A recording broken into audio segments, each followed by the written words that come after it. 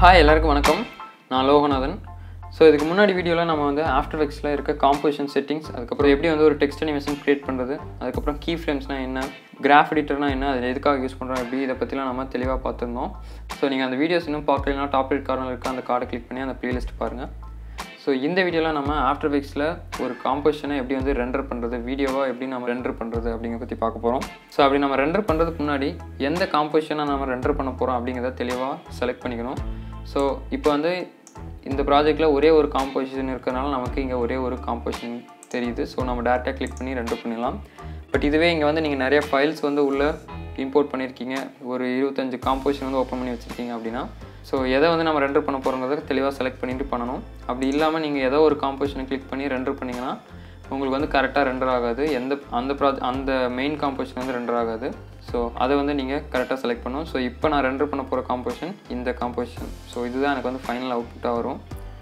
So இதில் நான் இந்த காம்போசிஷன் வந்து கிளிக் பண்ணிவிட்டு ரைட் கிளிக் பண்ணி ரிவீல் காம்போசிஷன் இன் ப்ராஜெக்ட் கொடுத்தீங்கன்னா உங்களுக்கு இங்கே இருக்க ப்ராஜெக்ட் டேப்பில் உங்களோட காம்போசிஷன் எங்கே இருக்கோ அது வந்து செலக்ட் ஆயிரும். ஸோ நீங்கள் வந்து இதே மாதிரி ஒரு இருபத்தஞ்சு காம்போசிஷன் வந்து வச்சுருக்கீங்க அப்படின்னா உங்களுக்கு இந்த காம்போசிஷன் வேணும் அப்படின்னா ரிவீல் காம்போசிஷன் கொடுத்தீங்கன்னா நமக்கு மெயின் காம்ப் அப்படிங்கிறது கீழே இருக்குது ஸோ இதுதான் நம்மளோட மெயின் காம்ப் ஸோ இது வந்து நமக்கு ஆட்டோமேட்டிக்காக செலக்ட் ஆயிரும்.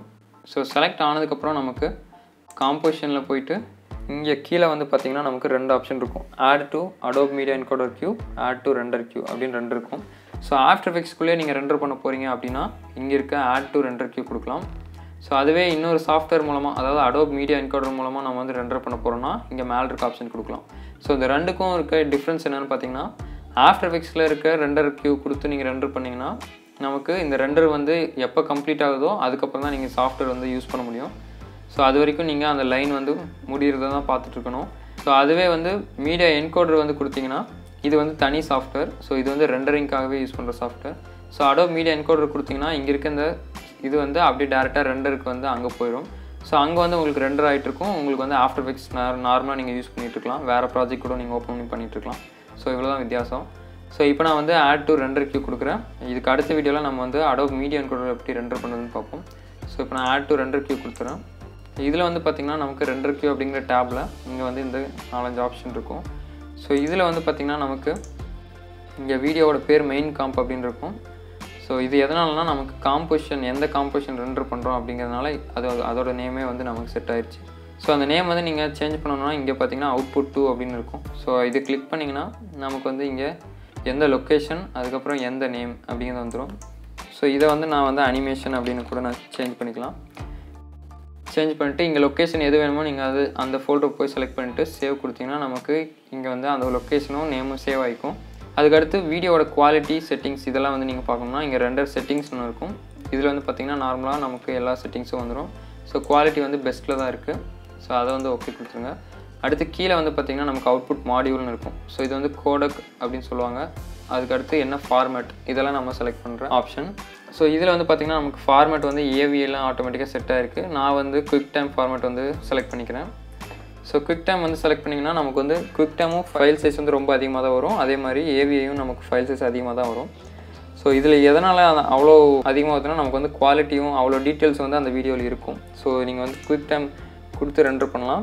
ஸோ அப்படி இல்லை உங்களுக்கு வந்து ஃபைல் சைஸ் கம்மியாக வேணும் அப்படின்னா நீங்கள் வந்து டேரெக்டாக மீடியா என்கோட்டரில் கொடுத்து நீங்கள் அதில் ரெண்டர் பண்ணிக்கலாம்.